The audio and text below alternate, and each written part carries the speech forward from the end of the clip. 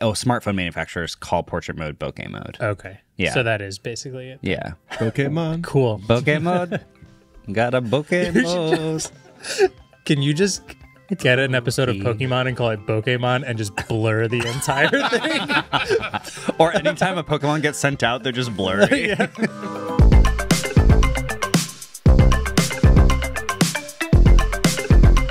Hello, people of the internet. Welcome back to another episode of the Waveform Podcast. We're your host. I'm Marques. I'm Andrew. This joke is getting tired because I'm actually David. Marques is still in Australia. Uh, he's winning constantly. They're, as far as I know, they're undefeated. I think they've played.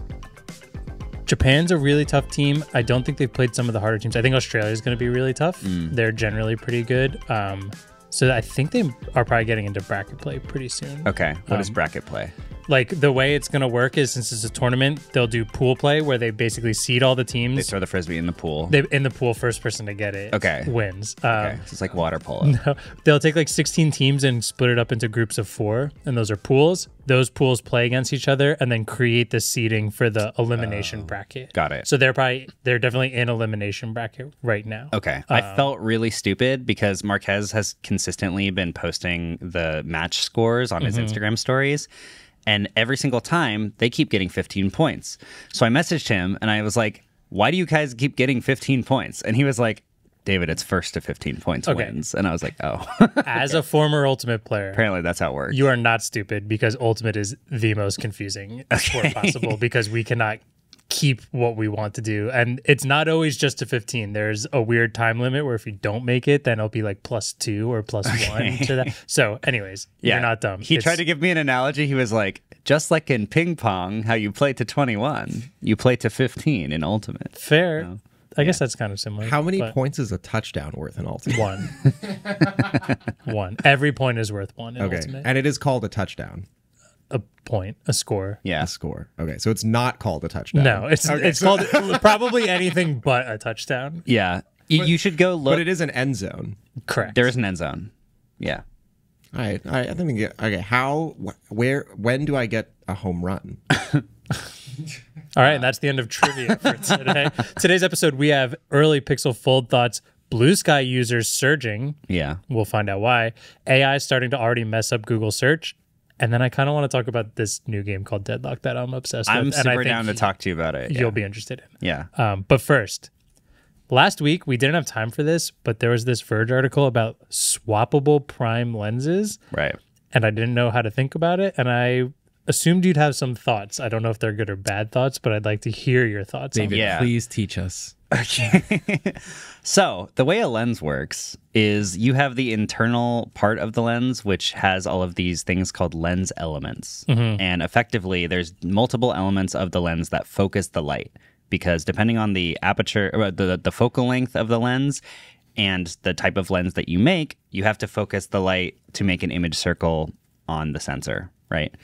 So, Samyang has apparently come out with this singular lens that you keep mounted to your camera, and you just swap out the lens elements instead of swapping out the f- entire lens.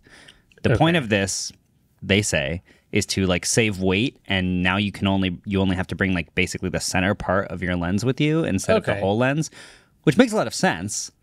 Um, I feel like based off what you just said, my initial thought was sounds cool. Wait, it feels like you're just swapping lenses anyways. But then like Yeah. okay, the because the exterior part of it is the bulkier aspect. If you Yeah. can just carry the small parts, that does sound nice. lenses yeah. a lot of times sorry, I interrupted, but No, like lenses when you're car- like walking or like bringing a bag, those are the things that add up in weight when you Oh, want to bring multiple, especially when you're doing prime lenses. Oh, and you want yeah. a bunch of them. yeah, I brought a bunch of lenses with me to Glacier National Park this weekend, and my back was in pain. It was rough. Um, so it's an it's an interesting idea. I think that the awkward thing about it is it significantly limits the type of lens design that you can have. Okay. Because if you want, like, there's this legendary line of Nikon lenses called the Noct lenses that are like 0.95 um, aperture, Okay. and they're huge. they're like massive, massive. Canon also makes a 28 to 70 f2 or a 24 to 70 f2, one of the two. I think it's 28 to 70 f2. It's also massive. And the reason that is is because you need a lot of glass to be able to focus that much light and Okay. produce like that many stops of light on a lens. So having the body of the lens fixed really does like pretty significantly limit what you can do with it.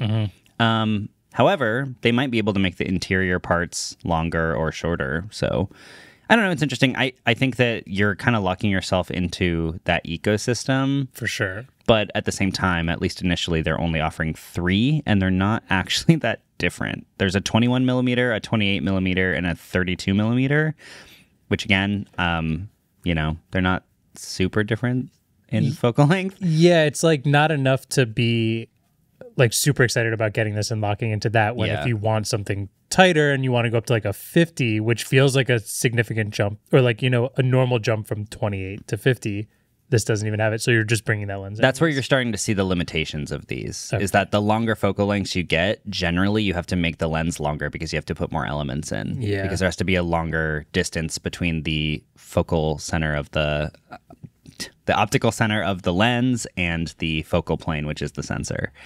So, anyway, my overall take on this is they're pretty affordable. Um, apparently, it's going to be around two hundred and twenty nine dollars for the main lens mount with the thirty two millimeter insert, and I'm not sure what they're going to be shipping the other adapters for. inserts for yeah. Yeah, I also don't know about the quality. Um, they are 2.8, 3.5, and 3.5 respectively, which is like not the fastest, but for a walk around lens, I think the 21 millimeter 2.8 could be cool. I like 28 millimeters, but anyway, it's an interesting idea. I'm glad that people are innovating in the in the lens space in general. So, and it's kind of cool that you don't have to carry around these giant lenses. Yeah, for sure. yeah.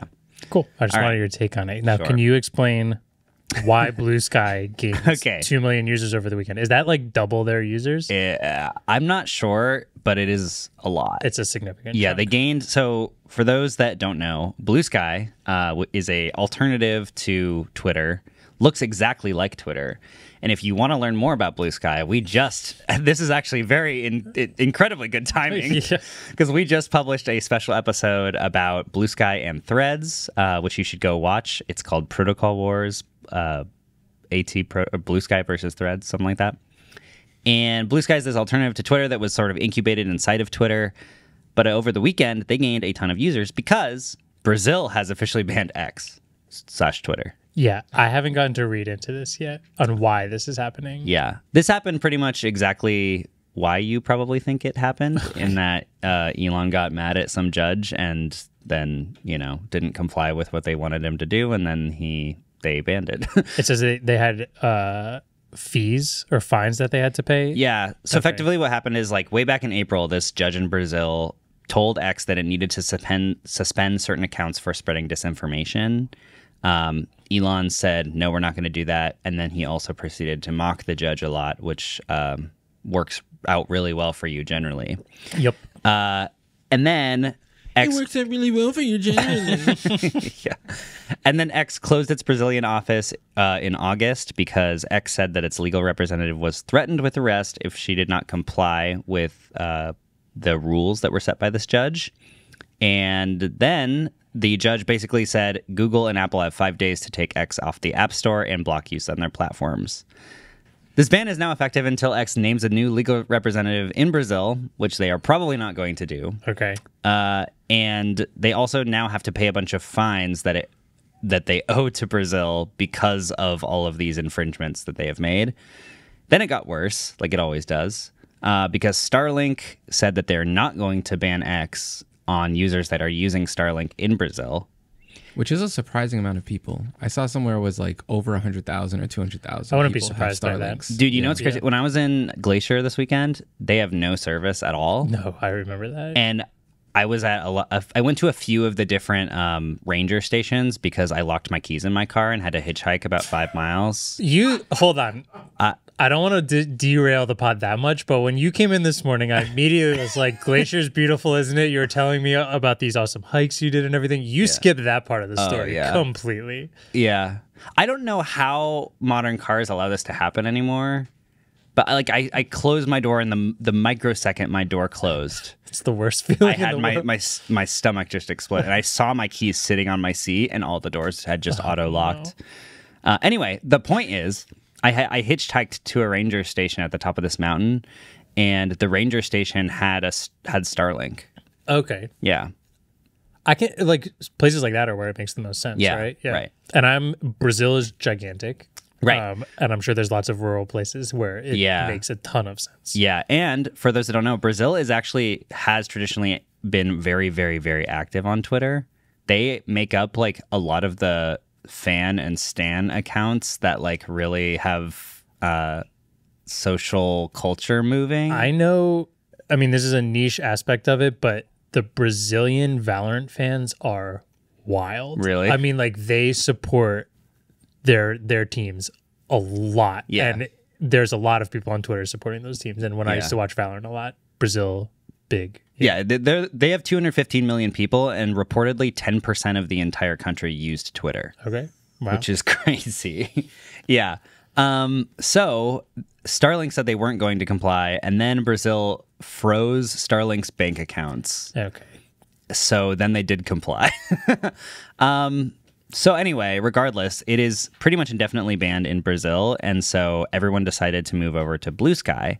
And I was looking into why they chose Bluesky instead of Threads, and apparently, mostly just people just didn't want to join another meta platform. Fair. which totally makes sense. And also, Bluesky, if you haven't used it, basically is formatted exactly like Twitter used to look before mm-hmm. it got switched over to X. like it's it's pretty much exactly the same. So Bluesky over the weekend gained two million users, which is uh, about ten percent of Brazil's population. Because ten percent would be two point five million, Yeah. which is crazy. Yeah, yeah. which is crazy. it said the significant growth brings platform's total user count to 8.4 million. So So that's twenty 20, percent 20 plus percent, right? over a weekend, which is nuts. That's crazy. Yeah. And Bluesky is cool. Like there's a lot of really interesting features of Bluesky. There's custom feeds. There's like these starter packs that you can um basically like if your friends have a certain amount of people. Wait, what, wait, what is a starter pack on uh, social media? A starter pack on Bluesky is basically like if you are a person who's into these categories or the people that I'm following, the accounts that I'm following, the feeds Oh. that I am using, I can just copy that over to your account. So like if I wanted to like look at pictures of moss, Yeah. yeah, there's there's different there's custom feeds on Bluesky, so you can like you can go to the, you know, for you feed or whatever, but there's also a following feed. There's also custom feeds where people can curate their own sort of lists and then you can have these lists as these custom feeds. There's custom moderation. Um, so yeah, I think that a lot of people just like wanted to move over there, and it's really funny because I was using Bluesky a lot over the weekend, and like half the posts were in Portuguese. so, to all you Portu- uh, Brazilian Bluesky users out there, hello. welcome. yeah, you own Bluesky now, I think. Pretty much. Yeah. It was definitely a huge jump for the platform. Um, and it's good to have more users because, like we talked about on the special episode, the social graph problem is kind of the biggest problem. And so just getting more people on there, especially people that contribute so much to culture, Yeah. I think is very important. So it might make people actually want to go over and download it. Funny enough, I got a lot of people posting at me, skying at, well, skying at me, I guess. It. yeah, don't, I can't say that on the podcast, but uh, saying that they downloaded Bluesky because of the episode, which Oh. is very funny because most of it was about Activity Yeah, Pub. like, and most of us were saying, like, wow, it feels like ActivityPub and Threads is really doing way better than Blue Yeah. Sky. Yeah. But hey, Hmm. a lot of people seem to be interested in it. So that's fun. Uh, so if you want to check out Bluesky, go hang out with all the Brazilians. Sweet. Yeah. All right. I have one more quick thing before we do trivia. Mm-hmm. And it's just because I want to talk about MySpace. okay. Um, but Instagram is now allowing you to add a song to your Instagram profile, just like MySpace used to be. yeah. Amazing. But Hell this yeah. time it doesn't it doesn't autoplay on your it doesn't autoplay, which is good. Yeah.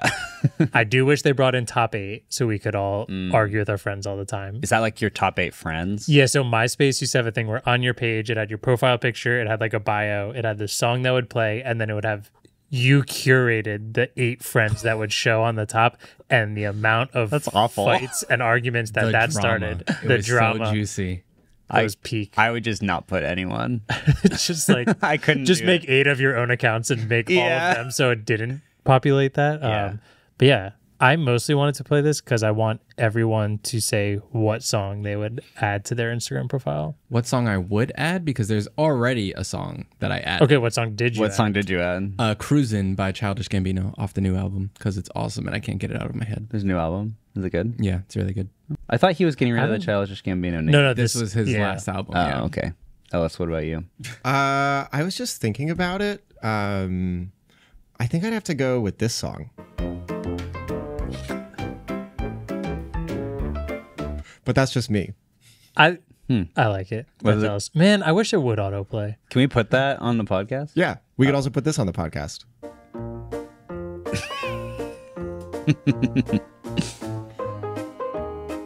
I'd like to see him stop me. I would love loo- looking at Ellis's pictures to that music. I was like, Did you think I was talking? I was about? like, you can't see that. You know, I hate autoplay videos, but honestly, I would be kind of down for this autoplay music. I would be down. Yeah. And how does it? So how does it work? Is it Okay, a so Spotify link? I'll show you through mine. No, so I believe I was trying to figure this out. Meta has their own library through Yeah. some different, uh, probably for like reels and stuff. publishers, um, yeah. And so you just have to find something in there. It's already, Oh. it's a library you just search through when you go and add a song. It's in like edit profile, song choice. Interesting. Um, and then you pick through that, and then it just comes up as, which I don't think people are going to really see, but there's just this little play icon underneath it. So Yeah. this is mine.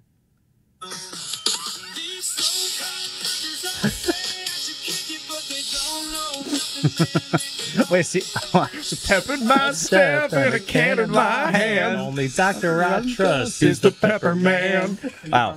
I love that Can you can someone play please it. explain that for the audience? There's a Dr. Pepper AI song that's actually really, really good. The chorus is "Song of the Summer." Easy. Oh, dude. I, I- Yeah. you know, I there an article came out a few week or two ago that AI has had zero economic impact since they, that song is proof that it is fantastic. the the cultural impact, let alone the economic impact of the Dr Pepper song is Yeah. So seeing the way that it works on Android, Android's phone, Andrew's phone, Uh-huh. I like that you can just play it directly from the profile and it doesn't have to like open up a separate link. or Yeah, app or agreed. something. That is very cool. It is super small to the point where hitting the play button is actually kind of hard. Oh, really? Like I've missed the play button multiple they probably times. did that on purpose. Yeah, yeah, you have to really want to listen to the song.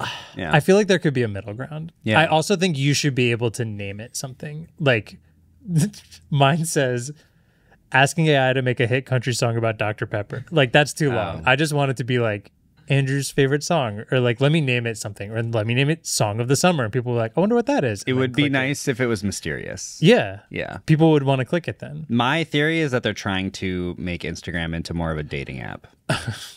That's a good theory. Yeah. To be fair, to they did launch this in collaboration with Sabrina Carpenter and a new song. So like, I think that was kind of the the way they marketed this as adding it onto it. there. Um, but yeah, I think it's a thirty second portion it clips out of, but you still need to Oh, name it's not the whole song? No, oh, it's not the whole song. Mine is Semi Charmed Life by Third Eye Blind.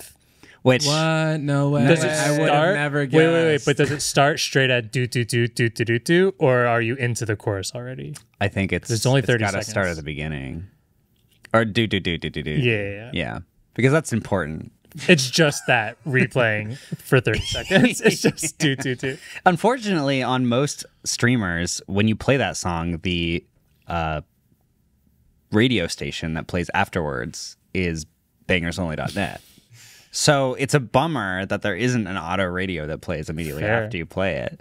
But I do need people to know more about this song, which I actually watched a documentary about this song last night. Do you need more people to know about that song? I feel like that is, if you lived at any millisecond Period. in If the you 90s, dude. you've heard that song. I just want to take take a second to talk about a little bit of Third Eye Blind trivia. Okay. Okay. Did you know? Okay, so there's a there is this ranch that Ellis will know a lot about called Skywalker Ranch in California. Basically, George Lucas created this ranch for like just doing insane like video effects and sound design. Mm-hmm. And I've been invited to a few screenings at Skywalker Ranch because they screened some movies there, mm-hmm. specifically the new Star Wars movies when they came out. They invited me to go see them there. Apparently, Third Eye Blind had like no money, right? Because they were just a local band in San Francisco.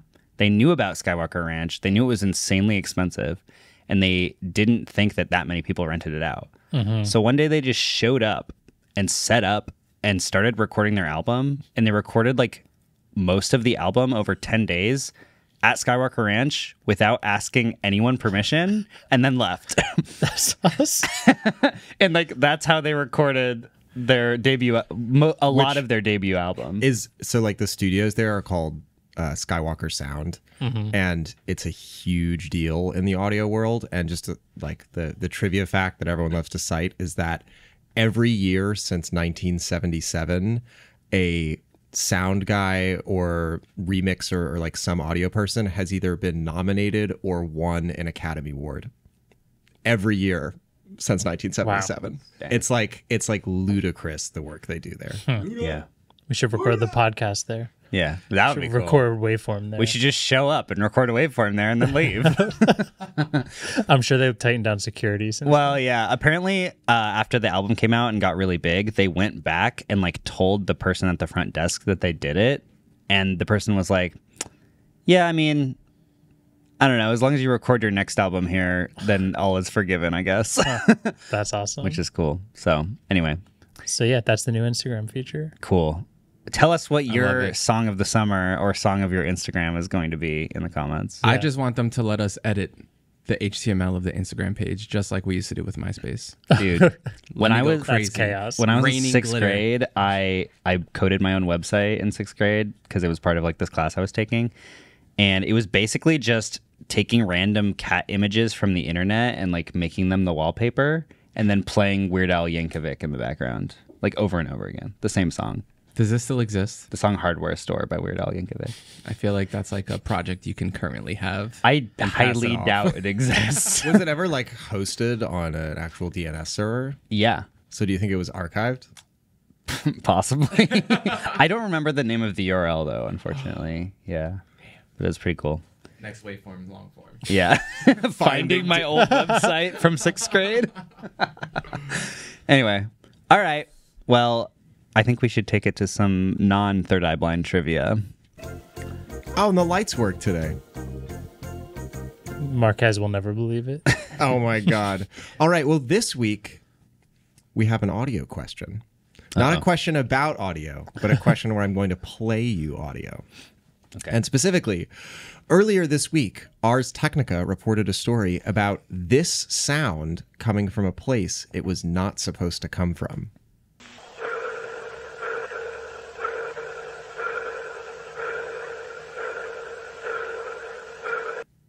Where did that sound come from? Are we allowed to know what that sound is? Uh, they don't know what They it don't is. know what it is.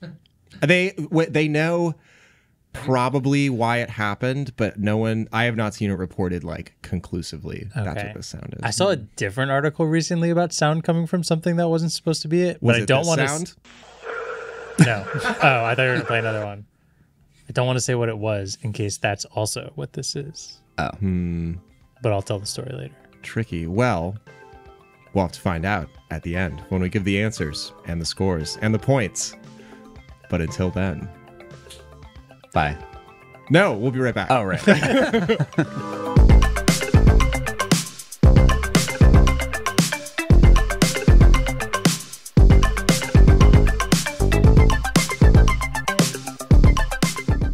Support for Waveform comes from Life360. It's back to school season, which means it's time for new routines, new activities, and maybe new responsibilities for your kids. Maybe they're getting themselves to school or carpooling to and from practice. It's exciting stuff, but you still want to make sure they're staying safe.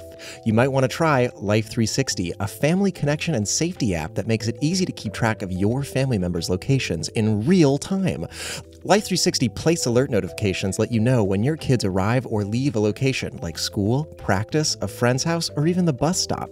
And with a tile from Life360, you can easily attach and track items like backpacks, duffel bags, and even a pet's collar. I lost so many lunchboxes as a kid, all to help alleviate the mental load of managing a busy family.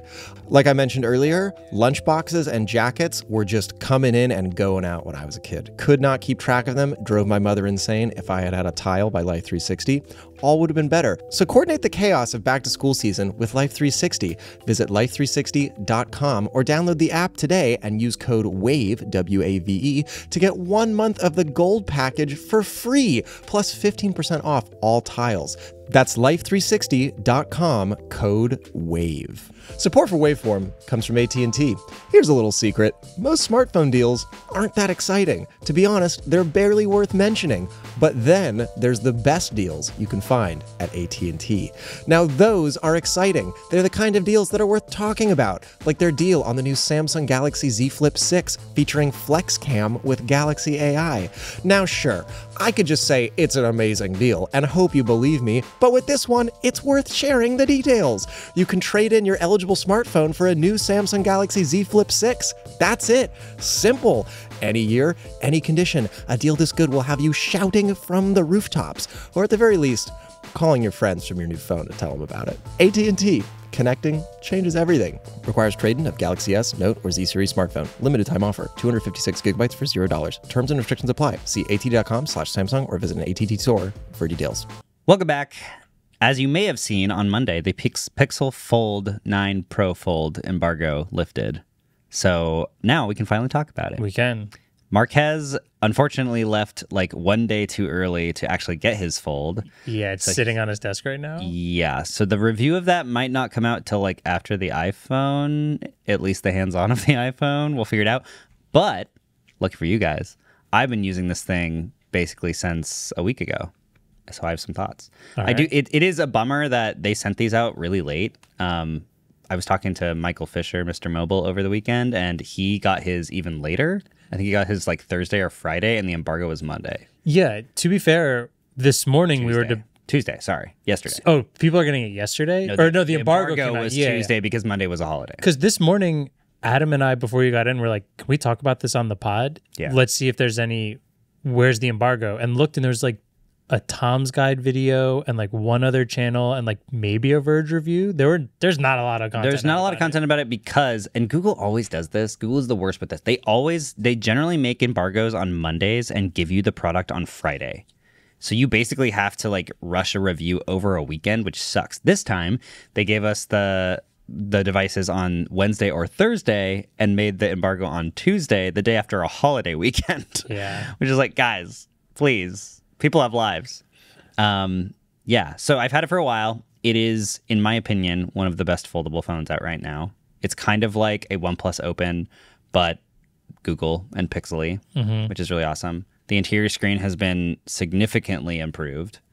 Uh, it's very good. It's very, very thin. The battery life has been really good. It looks very thin. Yeah, it's really thin. The battery life is really good. The one thing I've been not that happy about is the cameras. Uh, they Okay. definitely have a way too much contrast, even like quite a bit worse than the Pixel 9 Pro and the Pixel 9. Can I see something? Yeah.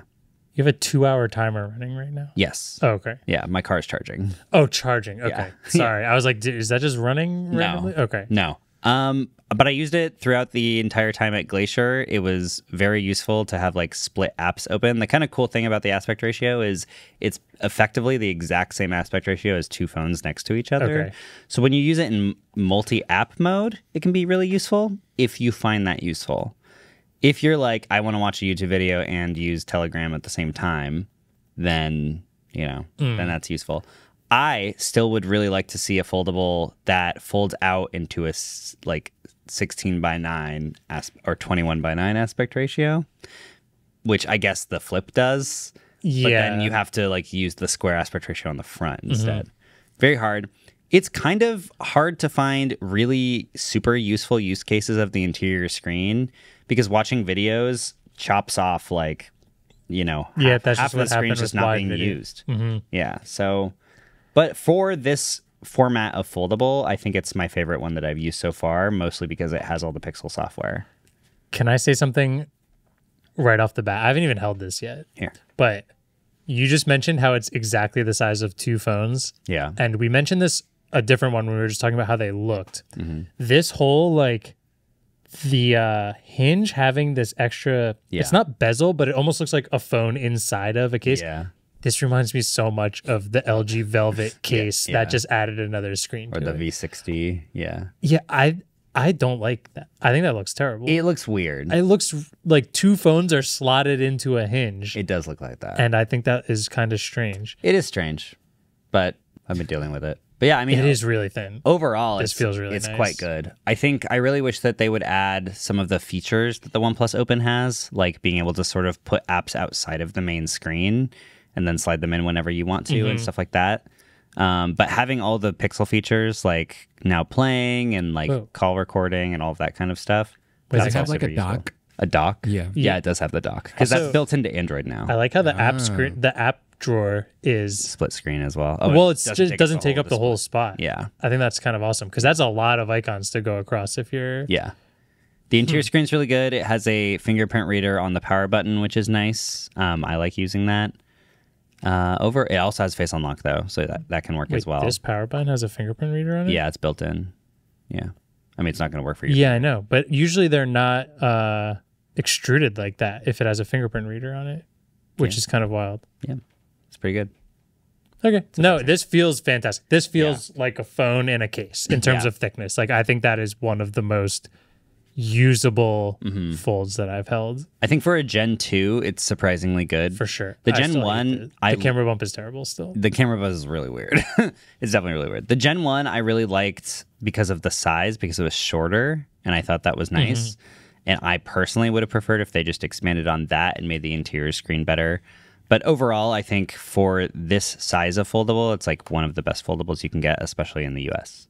So, yeah, it's expensive again still. But I think Adam probably wants to gush over it a Yeah, little bit. I Adam, have you been go- waiting do you have questions? this whole time. I have so well. No, you answered my one main question. Okay, but for the sake of the pod, I'll reiterate them. Okay. So, you had it now for a week, going on a trip to Glacier, Mm-hmm. arguably one of the most beautiful places in the world. So, Correct. how do you feel about the picture quality? Because I really look for good quality pictures in my next phone. Yeah, the camera is not super good. Yeah, Unfortunately, So, have you yeah. tried taking pictures with like RAW as well? Uh, yes. And I have not you, tried to edit the I was raw gonna say, photos yet. into, like, Lightroom but the video is not amazing. Mm. Um, and the the photos that just come out, the JPEGs that just come out, are not definitely not as good as the Pixel 9 Pro. Yeah, I was seeing like people Yeah. post pictures over the weekend, and it's v- they're very contrasty. There, yeah, it looks like it takes the pixel processing and it like jacks it up to the next level. It's not, it's not great. Mm-hmm. Do you know if there's a way to like tone that down a bit? I mean, you can shoot in RAW. that's it, right? That's basically it. Or you can like tap on a shadow area to try to get a little more dynamic range to make it less contrasty. It's still gonna be a little sharp and contrasty around the edges. But shout out to ZeroCam. There's this uh, app called ZeroCam on iOS that basically does like very minimal slash no processing, which really gets rid of like the phone look. by the makers of Halide Cam, right? No, It's Hal- not? Halide Halide's doing their own. is also doing a Oh, version they call Process Zero, which I just want to point zeros. out. I just want to point out. I made this video essay three years ago that's exactly this, and I told everyone to do this, and now it's happening. Thank God. The companies aren't doing it though; it's all third parties. Yeah. But those are really cool apps because they basically make your f- smartphone camera look like a digicam. Like the quality is way better. There's way less sharpening and all that stuff. There can be more noise if it's super low light because it's not doing it's not really doing computational Yeah. photography. But uh, I definitely recommend checking out Zero Cam and or Process Zero on Halide. Are those both iOS though? They're both iOS only, but uh, Zero Cam is is officially porting to Android right now. Okay, cool. So it will be available on Android pretty soon, which is really cool. Nice. Uh, next question. Yes. How's the durability of it? Like, so far pretty good i was not super careful with this and i had my iphone in my pocket at the same time so both the phones were sort of rubbing together all the time and i definitely have some like very minor scuffs on the screen and there's one scratch that is actually in the screen but besides that considering i was like bringing it all around glacier and like hiking you know 20 miles a day with it yeah. it's held up pretty well so far I- again it's only been a week but uh it's it's pretty good Yeah, but like it's a week of like one of the most intense activities that I'll probably do Right. in my life. So like Right. that is the the bar. Yeah. Uh, next question. You all you just finished using the Pixel 9 Pro. 9 Pro, thank you. Yeah. With the under display fingerprint reader. Now you're using the power button fingerprint reader. Yeah. Is it just as quick? Is it snappy? Do you feel a little different? Uh, it's pretty much just as quick. There's also face unlock. Yeah. And you can use them in conjunction with each other. So both together, it's like you really don't notice. nice. Yeah. okay. Yeah. As someone who used the fingerprint reader on the Zenfone, which Yeah. is on the side, I actually grew really frustrated with a while because when it's sitting on your desk, if you just want to like unlock it really quick, Oh yeah, it is a pain in the ass to mm. yeah. when Have like you- it's front screen. It's really easy, but David, that's like tried to face super minimal. I don't like face unlock because I like looking at my lock screen sometimes. so I I love just pressing my power button and seeing like a couple things I have on my lock screen. there's a setting uh, on the Pixel where I think I tried this and it was still annoying. Okay. Yeah, there's a setting on the Pixel where it will when it when you look at it, it will unlock your phone, but it won't automatically go to your home screen. You'll still see your notifications. It is the most like minuscule thing I hate about it because sometimes I'm like, I want to look at that, and the other times when I want Face Unlock to work, I want it to be right into the screen. Mm. Right. So if that makes sense, like with a fingerprint unlock, I can do that. I can just Yeah. open it, or I can just be straight into the Well, it's nice that you can use both, right? yeah. Yeah. So being able to like unlock it and see your notifications and then just, you know, tap Fair. is yeah, nice. yeah. Okay. So- Yeah, that works. Overall though, yeah, I think it's like one of the best full it's probably the best foldable available in the US. Mm-hmm. Um, I like the aspect ratio more than the Z Fold five or six or whatever Yeah, we're on we're right up to now. six now, Six, yeah. Um, Yeah. yeah. Final question, Yeah. which when you plug it into a display, does it have anything similar to Dex? Answer: Yes, it does. Thanks to Mishal Rahman, who's Yeah. been reporting on this. But if uh-huh. you go into developer settings, turn it on. I played with it this morning as soon as David walked in. Yeah. it has a very rough uh, Dex-like experience that you can force enable, and I did have to force quit and shut the whole thing down to Yeah. close the app. Yeah. But it does work. And we should note that that was spec- this is on Android 14 and Android 15 is officially available right now, but it, not yet for the Pixel Fold for some reason. Probably because people don't have it yet. It's available for the 9 series, but not the Fold. So when 15 comes out, I think there there is an improved Dex experience, but I'm not totally 15's sure. supposed to have Dex, right? I think That's so, like one yeah. of the big features of it. I hope so. I mean, it's not called Dex. Yeah, I was just called gonna whatever say- the hell Yeah. Google's calling We can it. try it on a on a 15 on a Pixel. Oh, I uh, plan to. 9. Yeah. yeah. Yeah.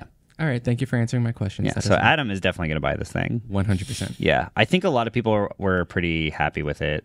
So it has, I will say, the wireless charging cable is in a weird spot. Um, you can't. It's not like f- direct center. I've had to like move it down. So I think the cable is a little bit lower, and my car has been having trouble charging the phone. This is why So I can't wait for Qi 2 and why MagSafe I still think is one of the best features that's been made yeah, for a smartphone yeah. in years. It is a bummer that this does not have Qi 2, and there's Yeah. only like one or two phones out right now that have it. So it's like mo- a Motorola phone that no one's gonna buy, and some other phone that no yeah, I do gonna like that cases are starting to throw magnets in it because like this Mm-hmm. dbrand case I have has the magnet inside of it, and then Channel I just always know channel sponsor, even though they're Yeah. not telling me to. But like, it's one of the reasons why I picked this phone and stopped using my Zenfone because I couldn't.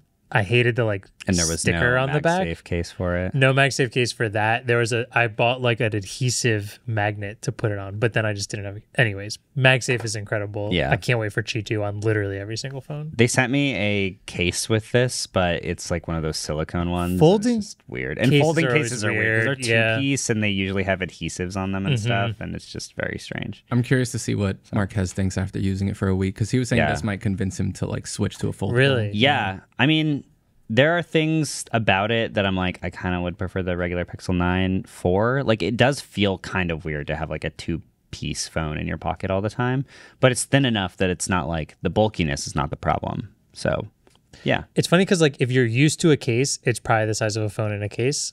hmm But if you're used to a case, you're probably gonna want to put a case on it, and now Yeah. it's gonna be a phone in a case with a case. And I will say it was really nice on the plane on the way back because I was either able to put it in like tent mode Yes. to watch a YouTube video, like do this, or mm-hmm. you could do this. Yeah. Which is really awesome. So you can't even see that on camera. But basically different forms of tent mode, which is nice. Oh, and then also you can have like a giant viewfinder when you're taking you can basically be mm. that iPad guy, you know, but with your foldable phone. Hell with the yeah. giant viewfinder. So I just also want to yell really quickly at Google for making the the porcelain one, the white one, which is the objectively better color, The Google only exclusive. available from Google. yeah. So annoying. Sounds like they marketed that perfectly. Yeah. It- Especially it's since gonna they've work. Yeah. Yeah, especially since they've been opening all these Google stores. But yeah, that's basically the Pixel Fold. So Yeah. If anyone has any more questions, hit them in the comments. Yeah. After you like and subscribe. yeah, you can also uh, post at me on Bluesky Threads or X.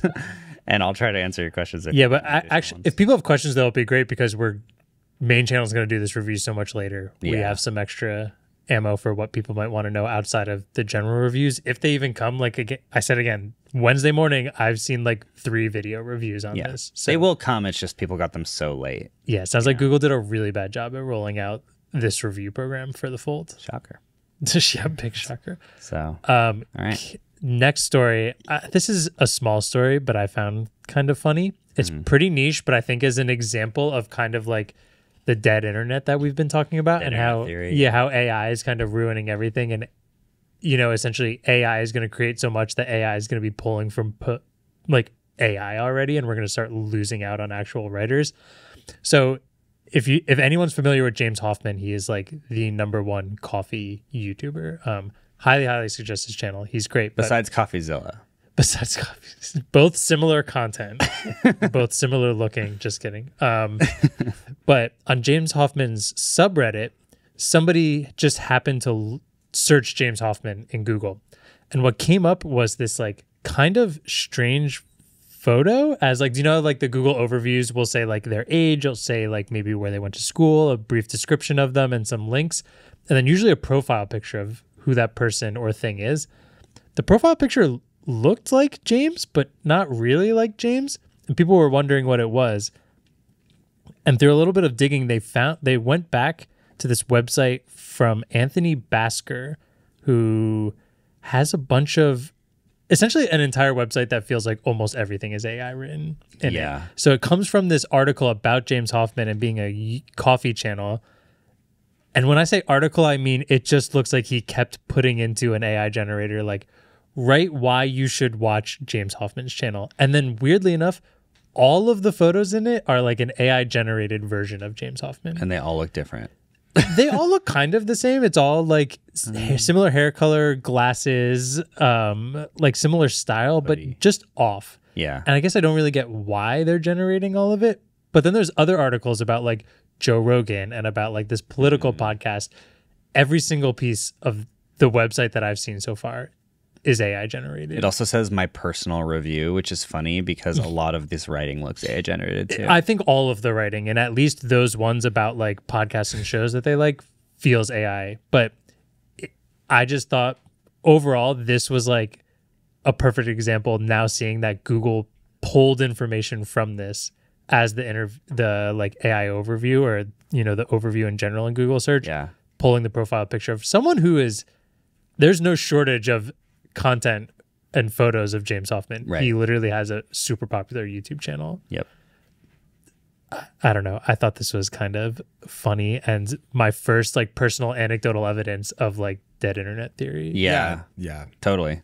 This is like a direct like representation of what dead internet, dead internet theory is. Which So- for people that don't know, it's basically this theory that most of the content that we're consuming on the internet now is created by robots. But yeah, Yeah, and this has been a theory for a while, and and like even before a lot, all of this AI stuff started to happen, because way back in the day we were just having bot problems constantly. exactly. And now the bots are getting much worse, but now we're in this new paradigm where we also have AI generated images and text. yeah. Yes. and so Google specifically because and because they're leaning into AI as well with these AI overviews and all this kind of stuff. Now they're starting to pull their automated images are being pulled from these different sites which now are AI generated images. Yeah. So. AI is creating something for AI to take over and at what point it's just an endless cycle of Yeah. garbage. Yeah, and it's just going to be hard to find actual information or actual Or new information. Yeah, or new information. Right. And then, you know, there's the thing with Reddit where Reddit can only be indexed by Google now. So if you search something, something Reddit on any other search engine, it's only going to give you posts older than like um, August 2024 or something. Not great. Um, everything's, No surprise for Reddit. Everything They're just down a. So, downhill through and through that yeah. dumbass website. Damn. Steve Huffman, loser. Dang. Okay. One more story that actually seems like it sort of broke while we were recording this. Okay. Il- Ilya, Sutskever. yeah, from OpenAI, announced this morning that he has raised one billion dollars for his new company. Oh, and they're going to be building Safe Superintelligence. In fact, the name of the company is Safe Superintelligence Inc. Uh, Um, Nope. And I don't uh, know how to feel about this, but the part that really stuck out to me is they're like, we're not doing products. We're just gonna straight shot to do superintelligence. research. No product cycles. He literally says in the announcement, like, no product cycles. We're just gonna straight shot. So, Ilya, don't murder me with your weird robot.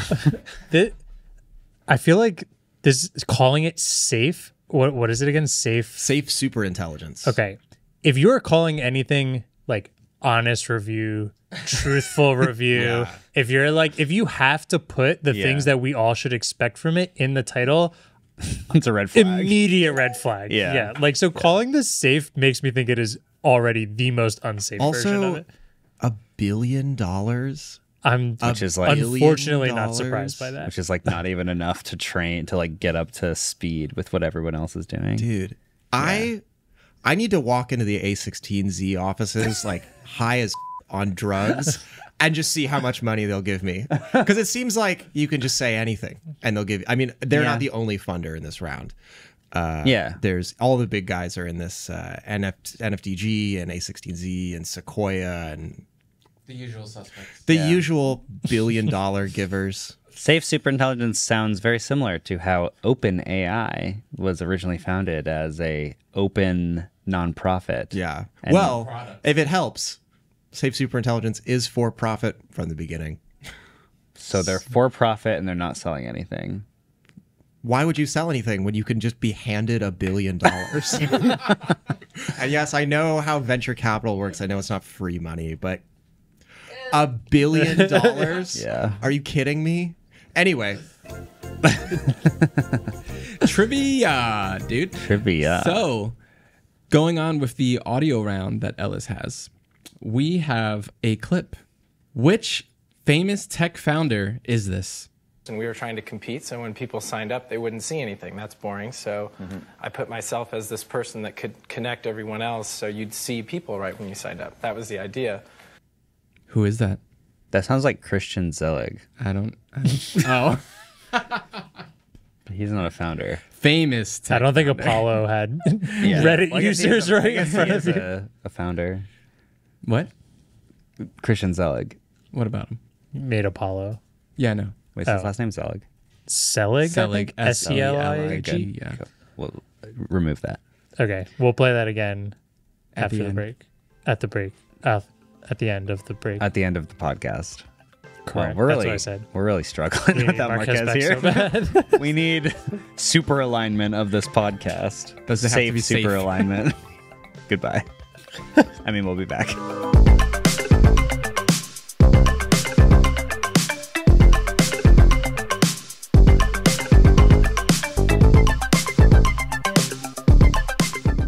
Support for Waveform comes from NetSuite. Every business would love to know what's coming next. Imagine if you had a super detailed list of what's going to happen with interest rates, stock prices, and inflation. Your day to day challenges would be a lot easier to tackle with perfect information. But today's rate of change means that certainty about tomorrow is hard to come by.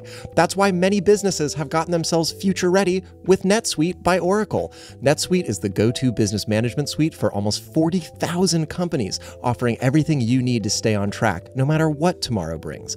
NetSuite combines accounting, financial management, inventory, HR, and more into one simple platform, offering a single source of truth. Get real time insights and data you can use to make the right decisions faster than ever before. Don't get caught looking backwards. Get ahead of the curve and stay focused on what's coming next with NetSuite by Oracle. Speaking of opportunity, you can download the CFO's Guide to AI and Machine Learning at netsuite.com slash waveform. The guide is free to you at netsuite.com slash waveform. That's netsuite.com/waveform.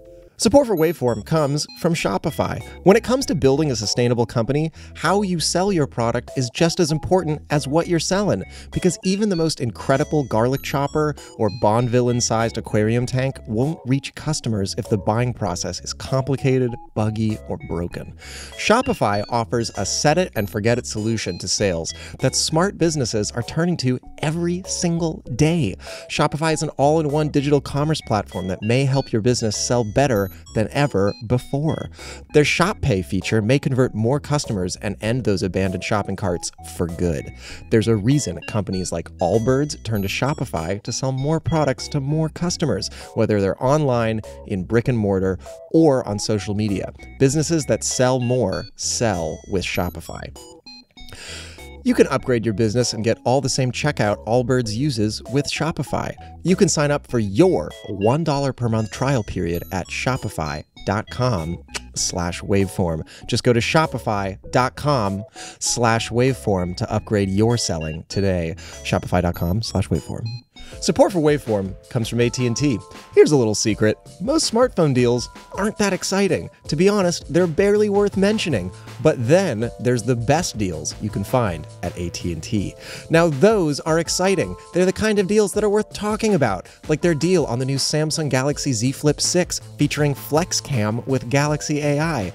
Now sure, I could just say it's an amazing deal and hope you believe me, but with this one, it's worth sharing the details. You can trade in your eligible smartphone for a new Samsung Galaxy Z Flip 6. That's it. Simple.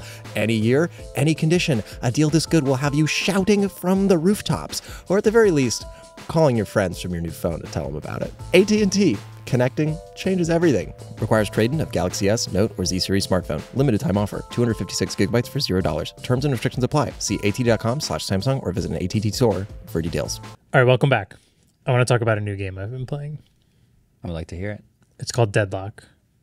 If you're playing games, you've probably Oh shoot! Someone's on the phone again. No, no, just kidding. My default is like, David Pierce is here again. Where is he? Um, sorry. All right, back Deadlock.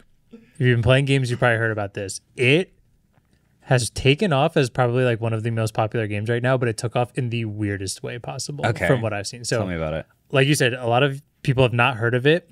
The first time I heard of this game was from The Verge. They Yeah. made an article about it the other day that I thought was just like not a great headline because it said it's so it's a it's a Valve MOBA game. MOBA's multiplayer online battle arena. Mm-hmm. Um, League of Legends, Dota. I mean, Valve made Dota. They're um, super super 2. popular. Dota two, yeah. Specifically. Um, and then, so it's like a third person shooter MOBA made by Valve. Um, so it's kind of a mix between a, a bunch of different games, but it's awesome. But The Verge made this article. And the reason it was interesting is because not a lot of people had heard about it because when you open the game, it's in a such a early stage of playtesting and invite only right now that every time you open it, there's a pop up that says you are agreeing to not share anything about this game. Um, and there's a little checkbox and an okay. I guess The Verge said you could just hit escape and get past it, and then decided we'll just make the article anyways. And then I believe he got banned for oh. doing the article. And that weirdly created, from what I've seen, a ton of hype around the game. I know there are people playing it already, but through that, people started wondering enough about it because they saw some gameplay footage from it, mm. and it are, are you about to get banned? I have no idea because now people are full blown streaming it. Like it's Did you straight hit escape? I, I clicked okay. Allegedly. time. You I'm not sharing gameplay footage. Allegedly. hit Allegedly okay. in Minecraft. I I thought played in this. my You hear that, Gabe? We're fine. I thought that they officially started allowing. I you to do think it's share it officially a allowed to be ago. shared. Yeah. Um, and but through that, it created all this hype. I immediately was like, "This game looks awesome!" And then shout out Max Weinbach sent me an invite, and then you can send out at that point what I saw unlimited invites. So I invited all of my friends that I play games Oh. with. None of us were really playing Valorant anymore. So now this is 100% the game we play almost every single day. Um, it's really, really good. It's that good. It got you off of Valorant. I haven't played Valorant for like six months. You're Really? like the Valorant guy. Damn it. Not anymore. What happened like six months ago that could have taken you off? So yeah, it's For anyone that doesn't know, Andrew recently became a father. I have a kid, and they're they take up a lot of time. But now she has a really consistent 7 p.m. bedtime, which is perfect to like eat dinner, like hang out with Claire, and then 9:30 game time for for probably a crisp 10:30 bedtime after that to wake up in time. But um, Yeah. it, it is it is really good. It is a lot. It's like TF2 and Dota put together. So like Yeah, talk about it a little bit more. yeah, it's third person shooter. You have a bunch of different characters with different abilities, but because it's a MOBA, there's lanes. There's actually four lanes in this, and there's neutral creeps, towers, bases, similar to that. You know, you you generate an economy, buy different items, level up different skills. All of the characters so far are super fun. They there's definitely a lot of Dota related skills, but that's like League and Dota have a lot of characters that are super similar. Yeah. This is inevitably going to have that Sure. um but it's just like you jump right in they have a bunch of really cool mechanics like zip lines instead of teleports back and stuff like that they have uh, shops and neutral creeps and bosses and like it's it's been really fun Hmm. And I is it you'd like PvP or PvE? i mean it's a moba so it's both right so you have like the creeps that you're killing in lane to push forward into bases there's different monsters that give buffs and stuff like that but you're also 6v6 Hmm. um four lanes there's some kind of confusing things now on if you know MOBAs, usually you have like solo lanes or duo lanes. Usually those I'm are sorry, set I'm up. not into gaming at all. Can you explain what a lane is? I don't think it's PvP worth is? explaining all of that, to be honest. If you know a MOBA, you know what it is. It's just like a style of how you play based on how many people are there and what the map looks like. Yeah. Um, Is Overwatch a No. MOBA? that's just like a first person shooter. Okay. Is this a But it's Is but this it's a in an MOBA? arena with like hero characters. Sort of. Gen- MOBAs have like one map. Oh, And, so like, Fortnite that is a arena- MOBA. Doesn't I think Am I MOBAs are getting one it? of the hardest game types to explain. Would you Yeah. agree? Is mean, chess a MOBA? I'm gonna ask Gemini what a MOBA is. Can you ask Gemini what a MOBA is? We'll see if it's it lies. it's a really good mix between you're playing against things that are computers and also people, if that makes sense. And through that, mm. playing against those things helps out how you fight the actual people as well. Actually, wait. Let's use Gemini Live for this. Let's see. Okay. So fantasy football is a MOBA. Hi. All right, let's start chatting whenever you're ready. Can you explain what a MOBA game is? A MOBA game is a type of online strategy game where two teams battle against each other. Think of it like tug of war, but instead of pulling So on a rope, tug of you're trying war to is a push MOBA. through the enemy's defenses to destroy their base. Each team has a base on opposite sides of the map. Protecting your base and destroying the enemies is the main goal. So To do that, you Stratego control is a single MOBA. character with special abilities and work together with your team to defeat I can hold it. Can I say Yeah. tug of war is actually a great way to describe That's it? kind of true because you're kind of pushing back and forth it's like to try to get. think of mm-hmm.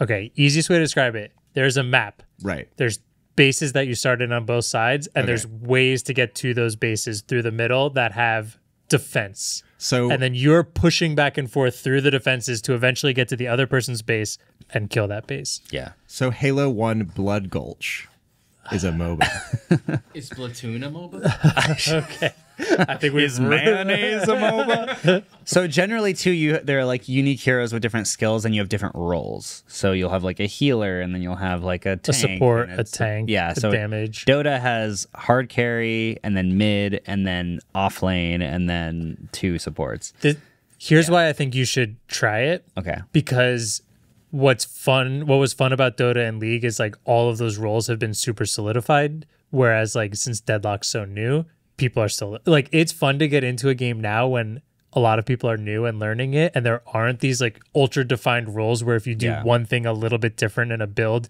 all your teammates start flaming you because like mobas have to be some of the most toxic games also. That's the and what's interesting about Dota is that you can actually play support characters like carries sometimes, and those builds can work, but people will flame you if you Yeah. do that.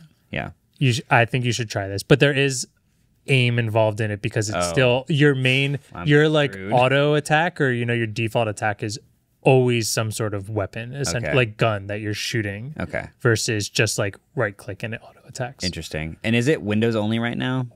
Probably just because it's Valve and on Steam. I'm assuming, Well, but Valve I'm not 100 percent sure. Valve makes all the games they make are available on every type of Platform. so it might be then. but I don't know. It's in alpha, so It's super early on. don't they use um, Team Fortress 2 models for the game? There's some that look super similar. I thought I saw some screenshots early on that looked like the hunter from Team Fortress 2, but now I don't think they're none that I know of. Um, this is the way I'm describing how popular it is right now, though. So Shroud, one of the most popular streamers in the world, especially when you're talking about streamers who just play video games and are good at video games. He's been working on this game that he announced a couple months ago and just released yesterday.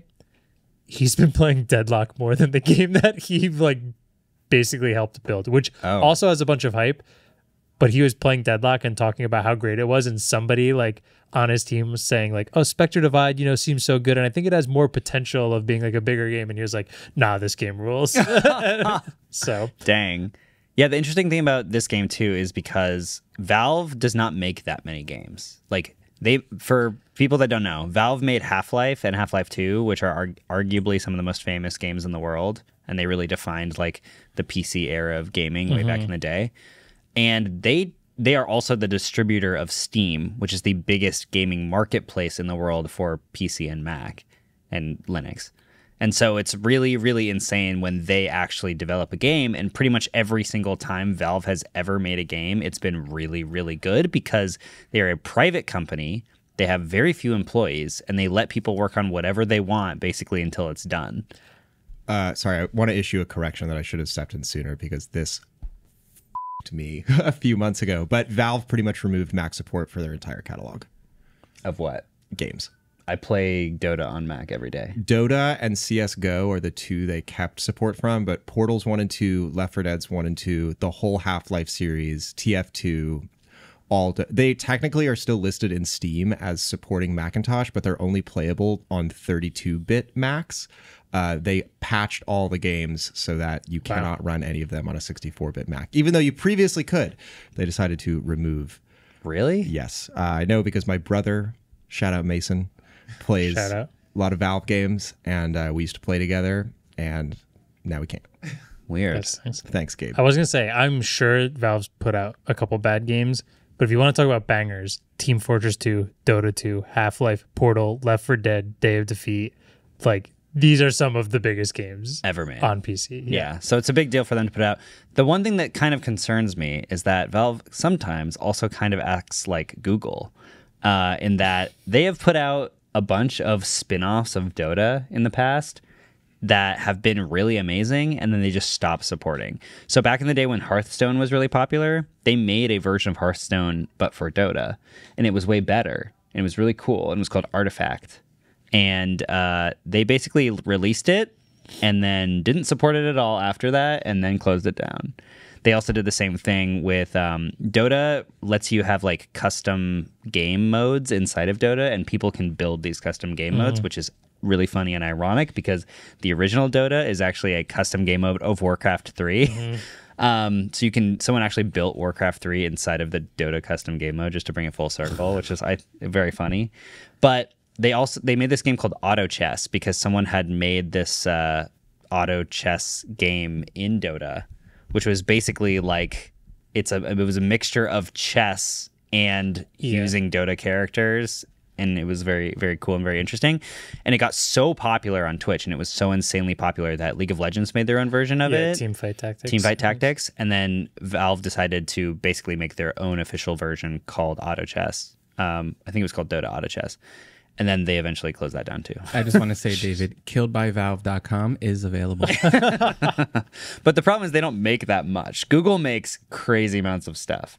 Um, so anyway, it's a big deal that they're actually making something new, and I really, really hope that because it's so popular, it will continue to uh, be supported. Yeah, I just think like as much fun as I'm having playing it, the main thing I thought was so cool is just like it was pretty well under wraps. Like there are people who've been playing this for months, and that community I'm sure is like like we've known about it forever. But I would say the general knowledge of it was pretty low key. Yeah. and then like it kind of got leaked.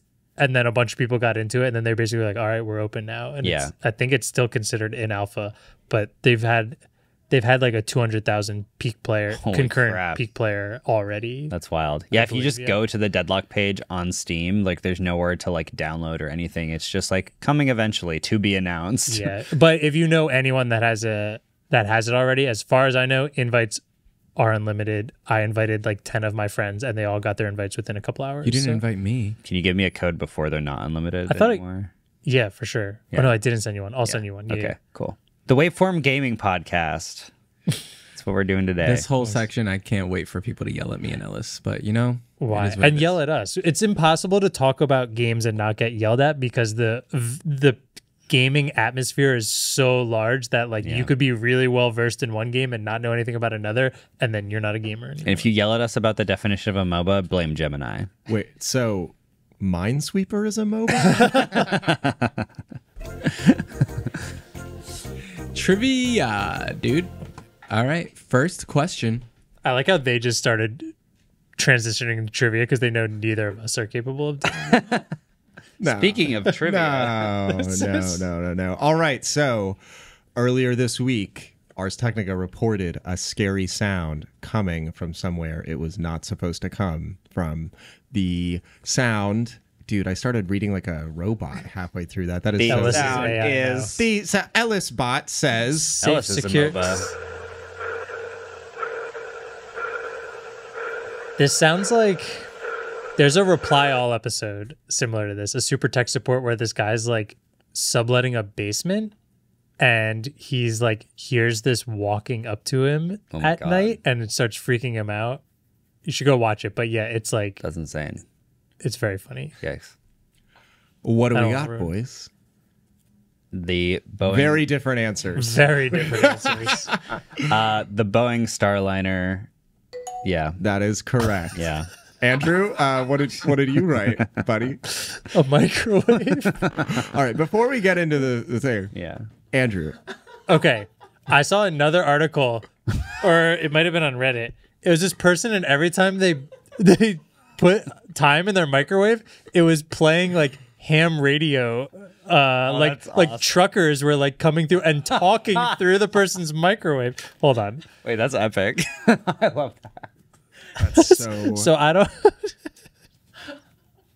Hold on. Wow. So yes, this sound was coming out of the cockpit of the Boeing uh, Starliner spacecraft, um, which, if I was in space, may or may not be stuck in space, and I heard this sound, It's literally dead space. I dude. would um, immediately pee my pants. Uh, They think the most likely answer is onboard spacecraft like this.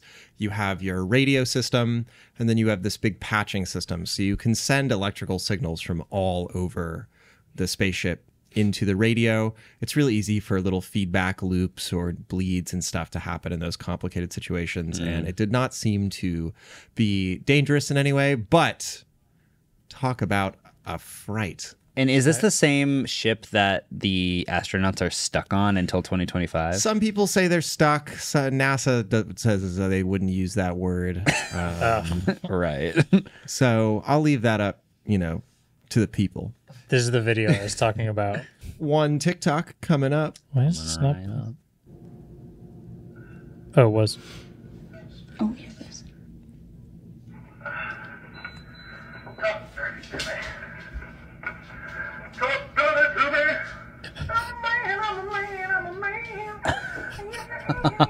Imagine that playing while your microwave is going. That's awesome. Um, if you are an electrical engineer and watch this show, can the waveguide in a microwave, even though it's guiding non-ionizing radiation, is that enough to actually move air enough to hear that? Is that what's going on? Like, is the waveguide acting as the transducer in this I understood system? nothing what you just said. What? I feel like that's fake. What I just said is fake. No, no. What, That video is fake. I mean, it makes sense. it might be fake. because uh, there's two separate things that I'm thinking of that make it real, right? The 1st mm. is that if you run audio signal, like alternating current that is audio through a Tesla coil, the the ionized plasma that comes from the electricity going through the air can get sound to propagate through the air. Like like neither confirm nor deny. like that. the lightning on a Tesla coil can act as a speaker. Okay. And then also microwaves have waveguides. Like they have these things in them that are supposed to take electrical energy and then send it through the air in specific shapes to hit your food. So protected? I mean, like all in a cage? this might sound really dumb, but don't microwaves just also have speakers on them to play the noises for the beeps and the boops. Not all the time. Like for beeps and boops, it's usually cheaper instead of having like a conical speaker and an amp. Um, like if you take apart a lot of alarm clocks that go beep beep beep, uh, they won't have a speaker. They'll have what's effectively a piezo microphone wired in reverse. So like something that is designed to uh, receive electrical signals and oscillate, and they usually have that hooked up to like a piece of metal, but it's not like a speaker Okay. in the way that we like would understand a speaker. And if you were to like play actual audio out of it, it would be pretty indiscernible. Hmm. Uh, but yeah, electrical engineers, hmm. let me know. Podcast at waveform.com. Can a waveguide make audio propagate through air? Uh, yes. Somebody is saying they think it's a because in the video it says whenever they have to flip the breaker is when it does it. So they're saying it's like some like boot up sequence that's playing it. Whoa. I don't know.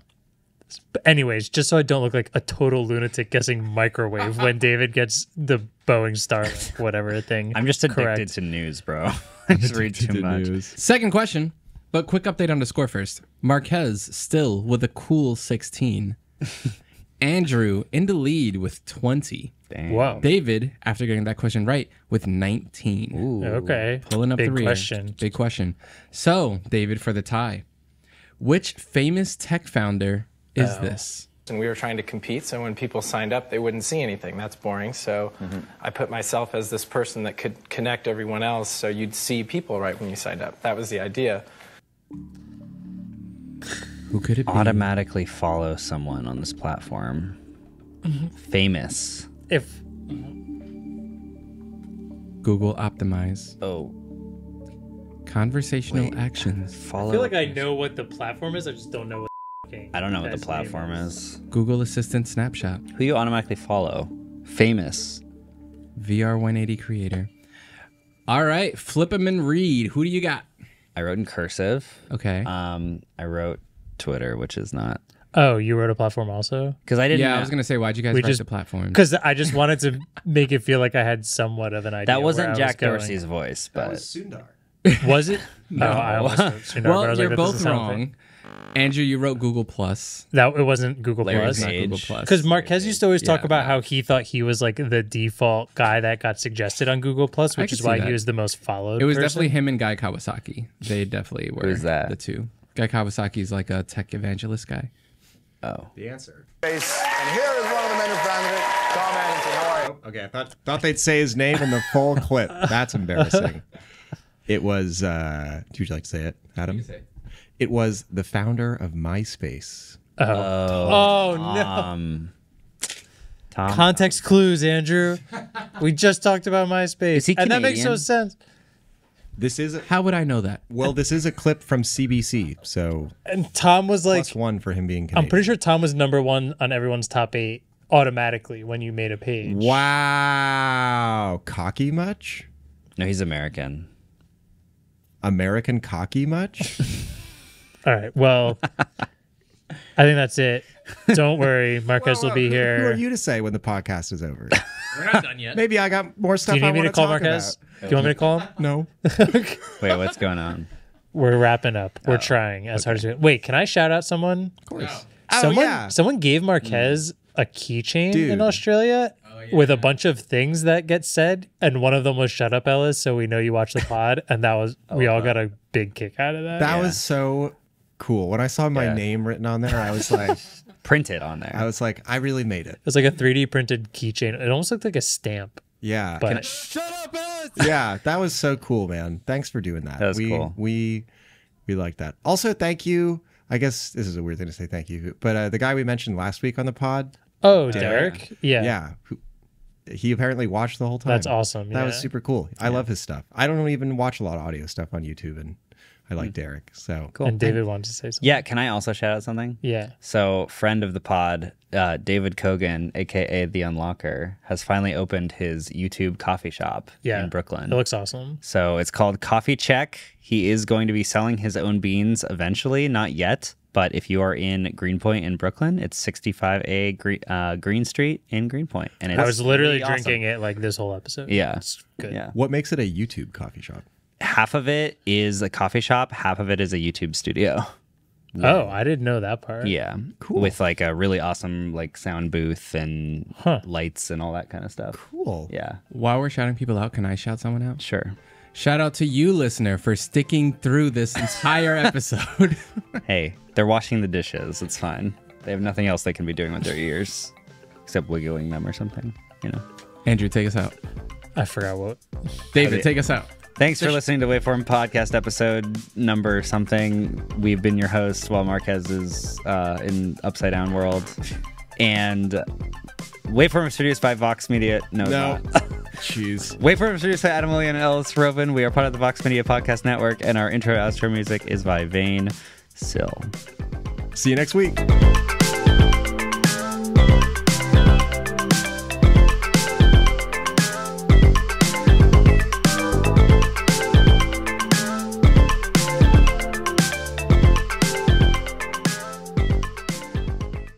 Least at the end, we can say, if you hated this episode, next week is going to be Apple.